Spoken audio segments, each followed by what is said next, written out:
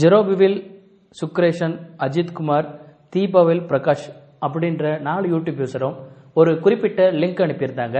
அந்த லிங்க்ல உள்ள வீடியோ உண்மையா அப்படின்னு கேட்டிருந்தாங்க. இன்னைக்கான வீடியோவில் நம்ம அந்த லிங்க்ல உள்ள வீடியோ உண்மையா அப்படிங்கிறத பார்க்க போறோம். வாங்க வீடியோக்குள்ள போகலாம்.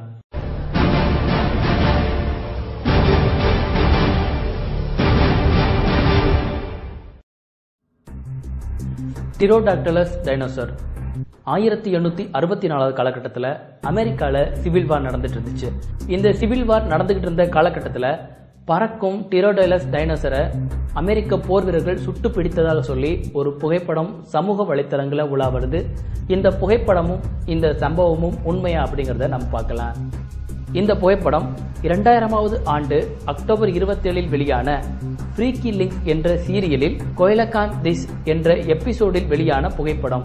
இந்த ஃப்ரீக்கி லிங்க் சீரியலை பிரபலப்படுத்துறதுக்காக தான் இந்த குறிப்பிட்ட புகைப்படத்தை அவங்க பயன்படுத்தி இருந்தாங்க இந்த சீரியலை பிரபலப்படுத்துறதுக்காக அவங்க இன்னொரு விஷயம் பண்ணியிருந்தாங்க. அவங்க ஹெக்ஸான் அப்படின்ற ஒரு இணையதளத்தை உருவாக்கி இந்த சீரியல்ல போடப்படுற எபிசோடுகள் எல்லாத்துக்காகவும் போலியான சில கதைகளையும் அவங்க அந்த இணையதளத்தில் வெளியிட்டு இருந்தாங்க இந்த புகைப்படத்தை பிரபலப்படுத்துறதுல ரெண்டு பேர் முக்கிய பங்கு வகிச்சாங்க.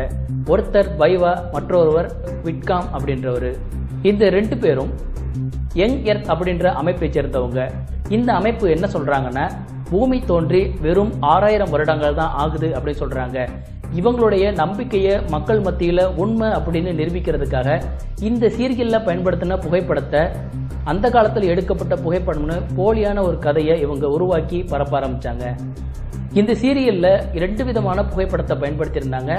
ஒரு புகைப்படத்தை ஹேக்ஸன் டாட் காம் அப்படின்ற இணையதளத்திலையும் மற்றொரு புகைப்படத்தை அந்த கோயலகான் திஸ் அப்படின்ற எபிசோட்லையும் பயன்படுத்தியிருந்தாங்க.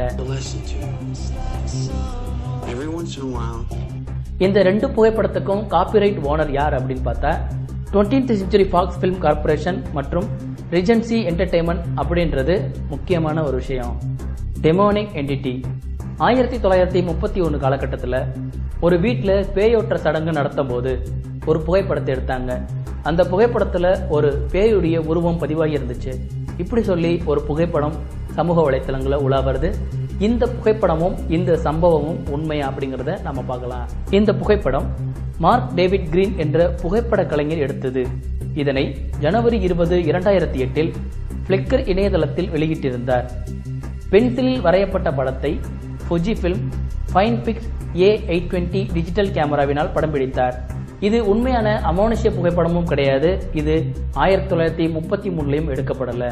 இது ஒரு art work Mark David Green அப்படின்றவர் இது மாதிரி நிறைய படைப்புகளை உருவாக்கி பிளிக்கர்ல வெளியிட்டிருக்காரு.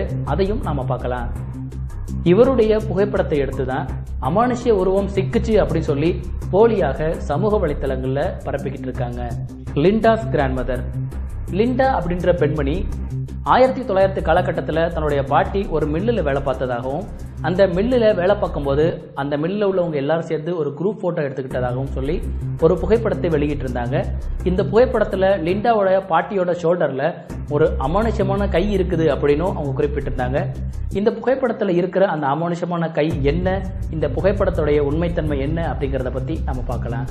இந்த புகைப்படத்தில் உள்ள அந்த கையை பற்றி தெரிஞ்சுக்கிறதுக்கு முன்னாடி இன்னைக்கு ஃபோட்டோ ஸ்டுடியோவில் செய்கிற ஒரு விஷயத்தை பற்றி நம்ம தெரிஞ்சுக்கலாம். ஃபோட்டோ ஸ்டுடியோவில் ஒரு ஃபோட்டோ எடுத்தாங்கன்னா அந்த ஃபோட்டோவில் நம்ம நல்லா வரலை அப்படின்னா ஃபோட்டோஷாப்பை பயன்படுத்தி அதில் உள்ள விஷயங்களை திருத்தி அந்த ஃபோட்டோவை அழகாக நமக்கு கொடுப்பாங்க. இதே போல் ஒரு மெத்தடை அந்த காலத்துலேயும் பயன்படுத்தியிருந்தாங்க. அதை விக்டோரியன் ஃபோட்டோஷாப் அப்படின்னு சொன்னாங்க. ஆயிரத்தி எண்ணூறு காலகட்டத்தில் கம்பைனிங் பிரிண்டிங் என்ற உத்தியை ஃபோட்டோகிராஃபர்கள் பயன்படுத்தினார்கள். வெவ்வேறு போட்டோக்களை நெகட்டிவை ஒன்றிணைத்து ஒரே போட்டோவாக உருவாக்கினர். ஆயிரத்தி எண்ணூத்தி ஐம்பத்தி ஏழில் ராஜ் லேண்டர் என்ற போட்டோகிராஃபர் முப்பது நெகட்டிவ்களை ஒன்றிணைத்து டூ வே ஆஃப் லைஃப் என்ற புகைப்படத்தை உருவாக்கினார். இன்றளவில் கம்பைனிங் பிரிண்டிங்கில் சிறந்த எடுத்துக்காட்டாக இந்த புகைப்படம் விளங்குகிறது. அதேபோல புகைப்படங்களில் உள்ள நபரை அழகாக காட்ட நெகட்டிவில் பென்சிலால் படத்தை திருத்துவார்கள். இப்படி நெகட்டிவில் பென்சிலால் திருத்தப்படும் புகைப்படங்கள் அற்புதமாக இருக்கும். இந்த குறிப்பிட்ட புகைப்படத்தில் உள்ள பெண்ணின் பல்லை பென்சிலால் திருத்தி இதுபோல மாற்றியுள்ளதை பார்க்கலாம்.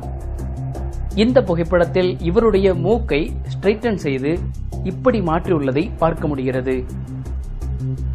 அதே போல புகைப்படத்தில் தேவையில்லாத பகுதியை கத்தியை கொண்டு சுரண்டி ரிமூவ் செய்வதும் உண்டு. இந்த முறையில் இந்த பெண்ணுடைய உடலின் பகுதியை இவ்வாறு மாற்றியதை பார்க்கவும்.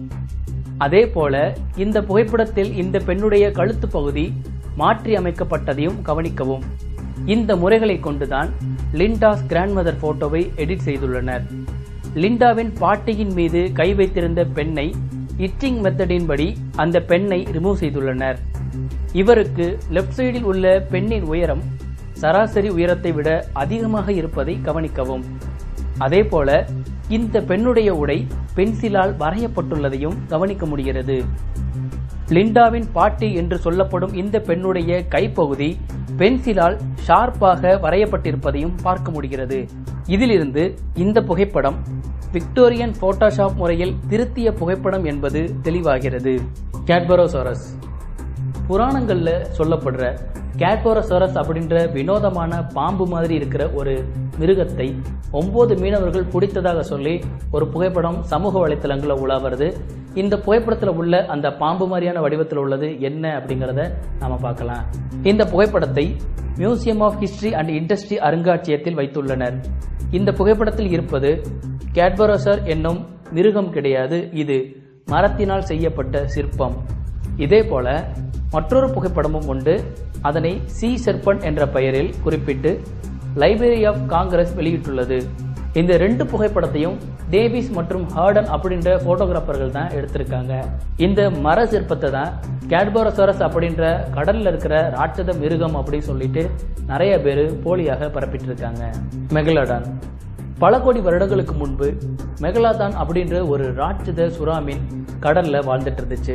இந்த சுறாமீன் அழிந்து போய் பல வருடங்கள் ஆகுது அப்படின்னு நினைச்சிட்டு இருக்கும்போது ஆயிரத்தி தொள்ளாயிரத்தி நாற்பத்தி ரெண்டு காலகட்டத்தில் சவுத் ஆப்பிரிக்கா கடல் பகுதியில் மெகலாத்தான மறுபடியும் புகைப்படம் எடுத்தாங்க. இப்படி சொல்லி ஒரு புகைப்படம் சமூக வலைத்தளங்களில் உலாவுறது இந்த புகைப்படமும் இந்த கதையும் உண்மையா அப்படிங்கிறத நம்ம பார்க்கலாம். டிஸ்கவரி சேனலில் ஒளிபரப்பான megalodon the monster shark life என்ற டாக்குமெண்ட்ரியில் தான் மெகலாடான் தென்னாப்பிரிக்காவில் சிக்கியது என்ற போலியான கதையை உலகிற்கு பரப்பினார்கள். இந்த புகைப்படமானது போலியாக உருவாக்கப்பட்டது என்பதை ஜார்ஜ் மானிபாட் என்ற எழுத்தாளர் கார்டியன் பத்திரிகையில் டிஸ்கவரி சேனலை விளாசியிருந்தார். இவர் இந்த புகைப்படத்தை டிஸ்கவரி சேனல் உருவாக்க ஆர்ச்சிபல் யூபோட் வீடியோவின் ஒரு காட்சியை ஸ்னாப்ஷாட் செய்து மெகலாத்தான் படத்தை அதில் இணைத்து மெகலாத்தான் புகைப்படம் என போலியாக உருவாக்கியது என்பதை கண்டுபிடித்தார். இதுபோல போலியான டாக்குமெண்ட்ரி உருவாக்குறது டிஸ்கவரிக்கு ஒன்றும் புதுசு கிடையாது. ஏற்கனவே டிஸ்கவரியுடைய மற்றொரு கம்பெனியான அனிமல் பிளானட் தொலைக்காட்சியில் மெர்மைட் த பாடி பவுன் அப்படின்னு சொல்லி ஒரு டாக்குமெண்ட்ரியை போலியாக உருவாக்கியிருந்தாங்க. இந்த டாக்குமெண்ட்ரியை பற்றியும் நம்ம ஏற்கனவே ரிவீல் பண்ணியிருக்கோம். அதுக்கான லிங்கை கீழே டிஸ்கிரிப்ஷனில் கொடுக்குறேன். அதையும் நீங்கள் பாருங்கள் இதிலிருந்து மெகலாத்தான் அப்படின்ற உயிரினம் வாழ்ந்துகிட்டு இருக்கு அப்படின்னு சொல்றது ஒரு கட்டுக்கதை அது உண்மை கிடையாது. பிளீசியோசாரஸ் இன் கலிபோர்னியா ஆயிரத்தி தொள்ளாயிரத்தி இருபத்தஞ்சு காலகட்டத்தில் ஒரு ராட்சத மிருகம் கலிபோர்னியாவோட கடற்கரையில் ஒதுங்கியதாகவும் அந்த மிருகம் என்ன அப்படின்றத ஆராய்ச்சி பண்றதுக்காக இஎல் வேலஸ் அப்படின்ற நபர் ஆராய்ச்சி செய்ததாகவும் அந்த மிருகம் பல கோடி வருடங்களுக்கு முன்பு அழிந்து போனதாக கருதப்படுற பிளீசியாசாரஸ் அப்படின்னும் அவர் கண்டுபிடித்ததாக சொல்லி ஒரு புகைப்படம் சமூக வலைத்தளங்களில் உலா வருது. இந்த புகைப்படத்தில் உள்ளது பிளீசியாசாரஸா அப்படிங்கிறதையும் பார்க்கலாம்.